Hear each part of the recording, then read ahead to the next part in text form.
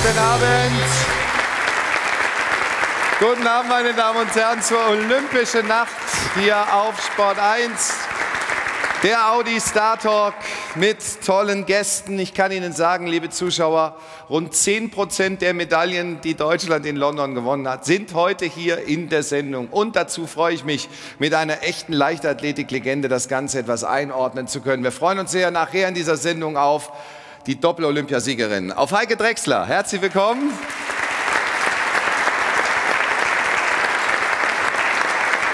Wir freuen uns auf einen Mann, der in London ein bisschen Pech hatte. Zwei Zentimeter haben gefehlt. Trotzdem kommt auch er mit einem großen Erfolg in diesem Jahr zu uns.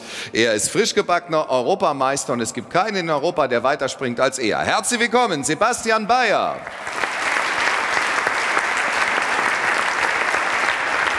Und Liebe Zuschauer, beginnen wollen wir die Sendung mit drei frisch gewonnenen Medaillen aus London. Drei tolle Athleten. Der eine saß im Deutschland-Achter. Ein grandioses Finish gegen die Engländer. Gold für Deutschland. Der zweite hat Gold in Peking gewonnen. Auch dieses Jahr in London war er großartig in Form. Silber also im Judo und Doppelsilber im Turnen. Wir freuen uns auf Philipp Adamski, auf Marcel Nuyen und auf Ole Bischof. Guten Abend.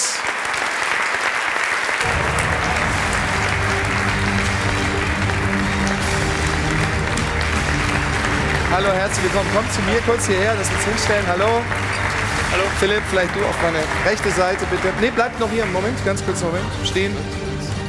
Wir wollen euch ja einmal so richtig schön äh, auch mit euren Medaillen sehen. Das ist ja wirklich ganz, ganz wundervoll. Ähm, kann man so ein bisschen was äh, zu den Medaillen sagen? So eine Goldmedaille ist Ja, die sind ganz schön schwer. Ganz schön schwer, gell? Also wenn man zu viele davon tragen muss. Aber Hast du schon mal reingebissen? Macht man ja? Nein, nein, nein, nein. nein. Macht man doch So, ja, das länger halten. Und die, äh, bei dir eine ist äh, von Peking, die goldene. Die oder? werden größer, die werden richtig größer und ich bin gespannt auf 2016. Dann sind es wahrscheinlich solche Dinger und man läuft nur noch mit, mit dem krummen Rücken rum. Und Marcel, für dich war es, glaube ich, ganz besonders begeisternd, weil ich habe mal die Geschichte gehört, du wolltest eigentlich gar nicht äh, nach Olympia, hast zu deinem Trainer vor, vor dem letzten Trainingslager gesagt, ach, lass mich in Ruhe, ich habe da sowieso keine Chance. Naja, was, also so schlimm war es nicht, ist klar. Also bei jedem, jeder Sportler kennt es, gibt es mal Tage, wo man nicht so gut drauf ist und Ja. am liebsten alles an den Nagel hängen will, aber im Endeffekt bleibt man natürlich dran, ist klar. Wie ist denn äh, euer Leben jetzt so in den letzten Tagen? Ist es ein einziger äh, Rausch, Marcel? Ja klar, also ein paar Termine sind auf jeden Fall da und man fährt von Ort zu Ort und so, aber macht auf jeden Fall Spaß. Ja, und gestern ähm, sind ja einige unserer Helden, ich glaube, ein paar von euch waren auch mit an Bord mit der MS Deutschland, also mit dem Traumschiff zurückgekommen nach Deutschland. Großer triumphaler Empfang in Hamburg. Wir waren natürlich auch dabei. Alexander Schulz. Deutschland feiert seine Olympiahelden. Gestern haben Zehntausende in Hamburg die Ankunft der MS Deutschland ausgiebig bejubelt. Für alle Beteiligten eine überwältigende Willkommensparty. Hier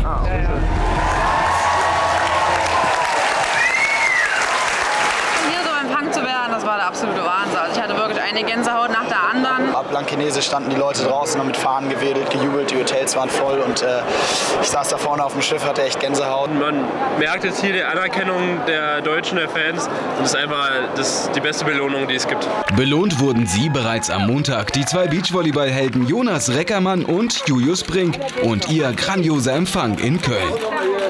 Das ist natürlich äh, überwältigend, geht genau da weiter. Wir dachten, wir kommen jetzt mal nach Hause und haben, haben ein bisschen Ruhe. Die sind ja nicht gekauft, die Leute hier alle, glaube ich, sondern die sind wirklich hier unseren Wegen.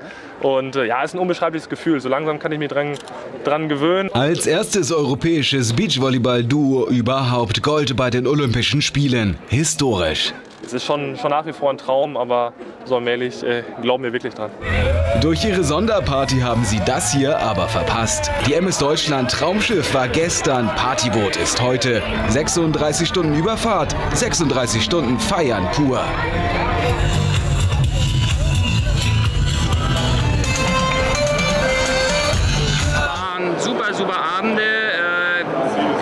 Bisschen zurückgehalten. Die jungen Leute, die sind, haben bisschen mehr Gas gegeben? Also es war irre, irre, irre. Also die ganze Stimmung an Bord war unglaublich. Ein grandioses Fest, äh, das die Athleten wirklich verdient haben, weil sie eine tolle Mannschaft waren. War einfach cool. Die Nächte waren zwar nicht allzu lang, aber ähm, nichtsdestotrotz, wir hatten einfach unseren Spaß und war schön.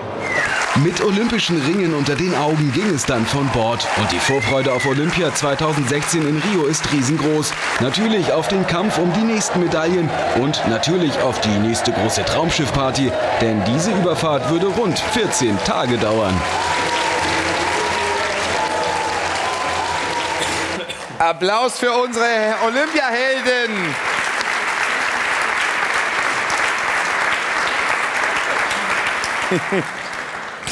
Was war eigentlich härter, Ole, der sportliche Wettkampf oder die anderthalb Tage an Bord des Traumschiffs? Ja, waren ja nicht nur eineinhalb Tage. Also ich habe ziemlich am Anfang der Olympischen Spiele gleich meinen Wettkampf gehabt und dann zwei Wochen Freizeit. Und also ich wurde ja gezwungen. Da Zwei Wochen durchgezogen. Ja, mit ein, zwei Tagen Ausnahme, ja. Ja, sehr schön. Philipp, äh, bei Ihnen habe ich gehört, oder bei dir, ich glaube, wir können alle du sagen, wir sind ja unter Sportlern. Ich habe bei dir gehört, du wärst sogar ein bisschen auffällig geworden. Ich? Bestimmt nicht. Also, wir wollen mal deinen Kollegen, den Schlagmann Christoph Wilke, hören, ja, wie er das so gesehen hat. Ich glaube, er ist auch im Pool gelandet noch gestern. Äh, ein paar Ruderer wurden noch äh, im Pool geschmissen. Ähm, und ich glaube, er war auch dabei. Äh, und er hat auch, glaube ich, wenig Stimme. Ich weiß nicht, ob er dann im Studio noch reden kann. Werden wir sehen. Er muss sich jetzt noch erholen, die Tage, glaube ich. War es so schlimm? Ja, schon etwas. Ich hatte schon schlimmere Tage. Er war extra noch beim Arzt auf dem Schiff, um die Stimme wieder fit machen zu lassen für die Sendung heute. Finde ich wunderbar. Wir haben noch ein paar schöne Poolbilder. Marcel, ähm, du bist ja schon ein bisschen früher abgeflogen, einen Tag, wenn du so die Bilder siehst. Das wäre auch was für dich gewesen. Ja klar, also so sieht es erstmal nicht schlecht aus, die Party, klar. Aber bei dir war es so, du hattest dann auch irgendwie das Bedürfnis, wieder nach Hause zu kommen. Ja, auf jeden Fall. Also, wenn man die ganze Zeit sieht, wie ich jetzt weg war mit der Vorbereitung zusammen, das waren jetzt sechseinhalb oder ja, sechseinhalb Wochen, wo ich auch nicht zu Hause war. Und klar, dann wurde mir angeboten, du kannst früher fahren, wenn du willst. Dann habe ich gesagt, ja, komm. Waren es vielleicht auch sechseinhalb Wochen, die dein Leben vielleicht ein Stück weit verändert haben? Ich habe zum Beispiel gehört, du hattest vor den Spielen 20.000 Likes, also gefällt mir sozusagen auf Facebook. Jetzt sind sie über 200.000. Ja klar, ist schon sehr krass, was da passiert ist, auf jeden Fall. Also nach, nach meiner ersten Silbermedaille habe ich so geguckt, okay, sind wir jetzt schon bei 80.000 und dann habe ich von Minute zu Minute immer gleich mal 300 Likes mehr. Also das war schon sehr krass. Das ist krass, ja. Wir haben, glaube ich, sogar Bilder mal von deiner Seite.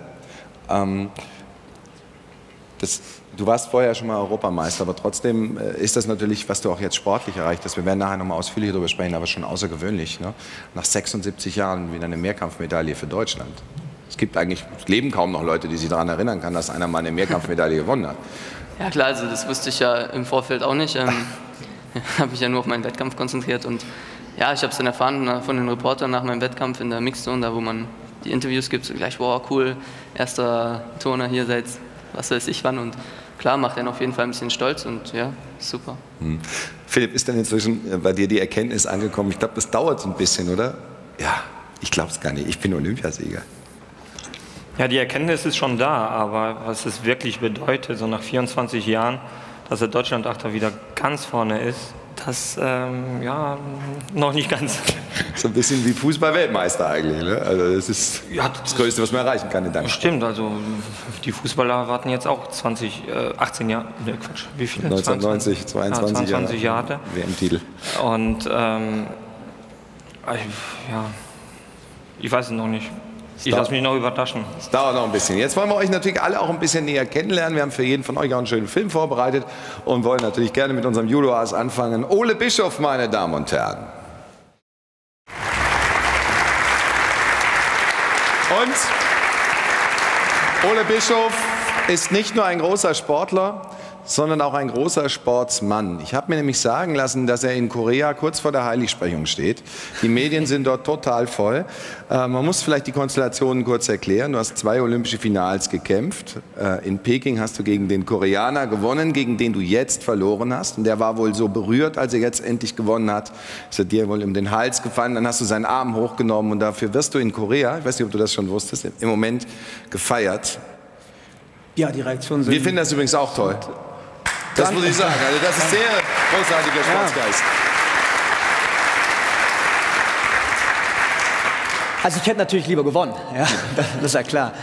Ähm, aber es ist schon so, äh, ich habe vor vier Jahren gegen ihn gewonnen und er war damals eben noch ganz frisch, ganz jung dabei.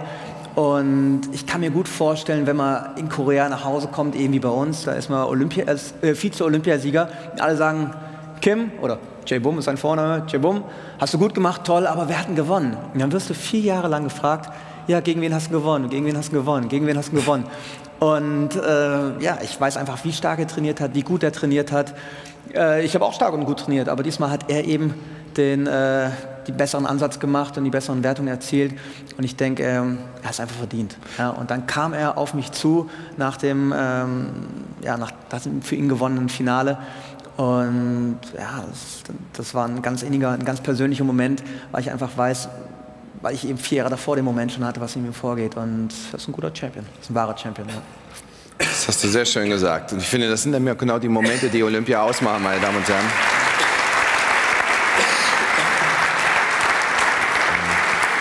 Du hast gerade schon gesagt, vor vier Jahren warst du der Goldjunge.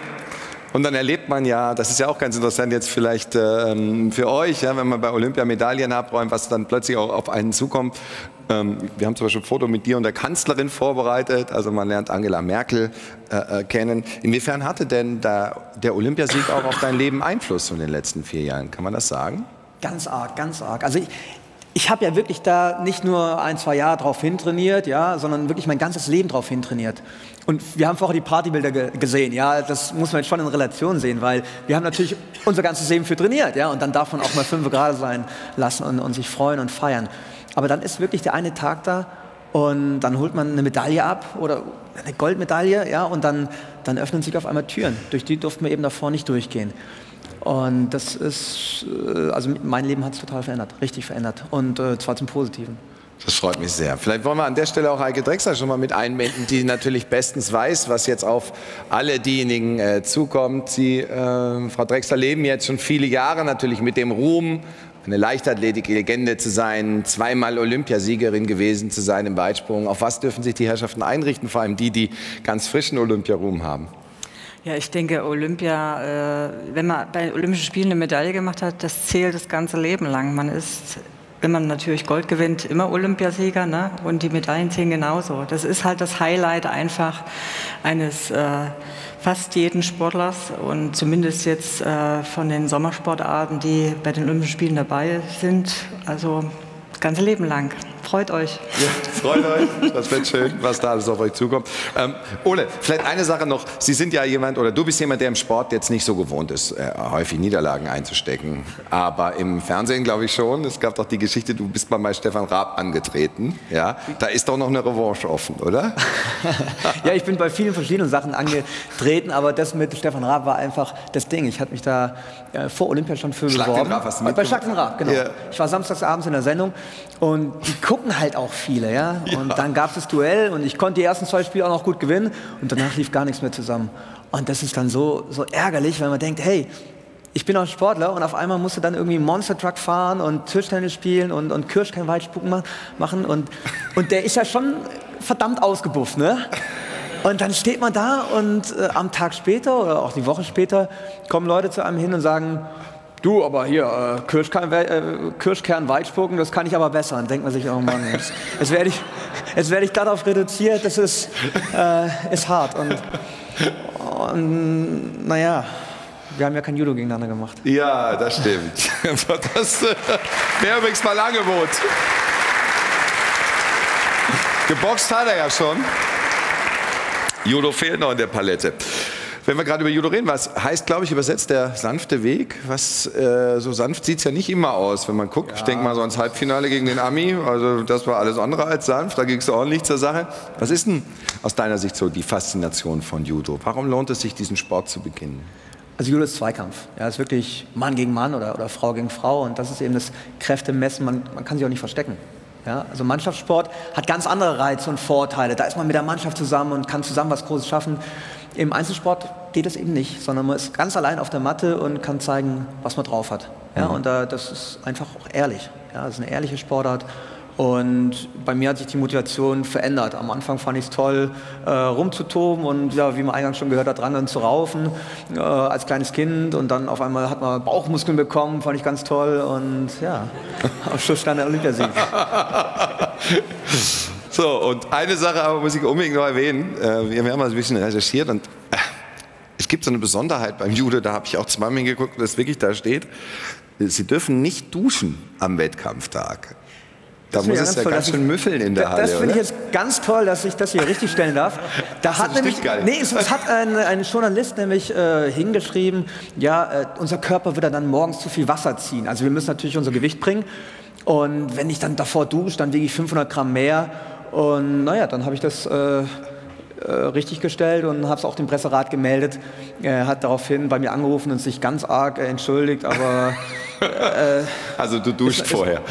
ja, ich dusche vorher. Ja, und da sind die Journalisten natürlich schon in der Verantwortung, auch korrekt zu berichten. Ja, und äh, eines wollen wir natürlich uns gerne noch angucken, weil du gerade gesagt hast, man trainiert, um dann auch schöne Bauchmuskeln zu bekommen. Wie schön die Bauchmuskeln von Ole Bischof sind, die wollen wir Ihnen jetzt mal auf einem Foto zeigen. Guck dir das an. Hä? Ja, ich kenne das Foto. Das ist auch mein Körper, ist, ist, kein, ist kein Double. Ja, Ole, einen schönen äh, Körper bekommt man natürlich auch, wenn man turnt. Marcel, wir haben mal auf deine Homepage geguckt. Da sind ja auch ganz schicke Bilder. Wo ist der Applaus, Herrschaften?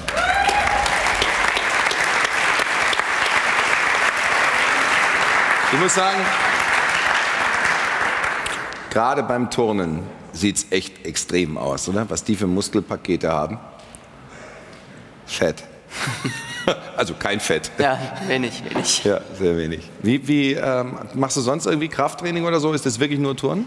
Ja, das ist eigentlich ja, 90 Prozent nur das, was wir mit unseren Körpern machen. Wir machen, wenn wir Krafttraining machen, machen wir spezifische Übungen. Das bedeutet so an unseren Geräten auch, an den Ringen beispielsweise oder am Barren und ja, im Kraftraum gehe ich eigentlich nie. Maximal vielleicht mal am Anfang des Jahres, weil man ein bisschen wieder fit werden muss von den ganzen Weihnachtsfeiern und allem Möglichen. Aber an sich gehe ich nicht in Kraftraum. Oh.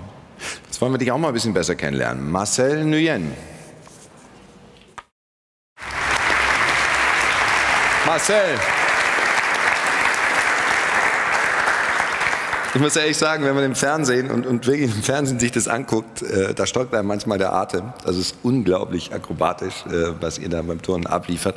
Du hast ein Tattoo, das hat man gerade auch noch mal auf dem Foto gesehen, da steht Pain is temporary, pride is forever. Also der Schmerz vergeht, aber der Ruhm, ich würde es nur so frei besetzen, der Ruhm bleibt für immer. Jetzt ist es soweit.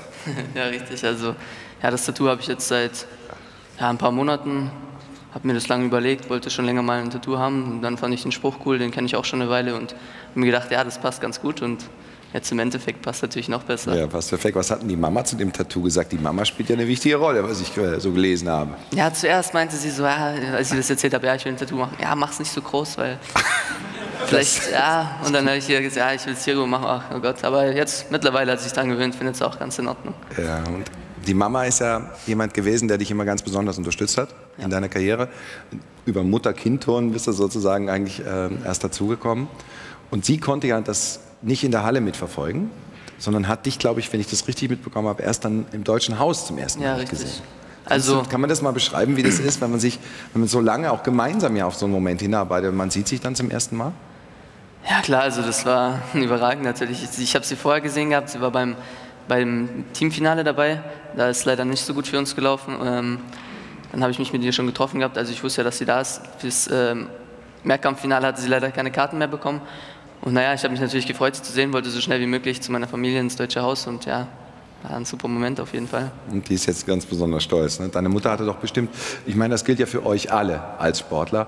Äh, aber natürlich hatte auch deine Familie, hattest auch du, nehme ich mal an, viele Entbehrungen. Also wer so einen Körper hat wie du, der ist nicht oft bei McDonalds, oder? Ja, offiziell nicht, aber gelegentlich.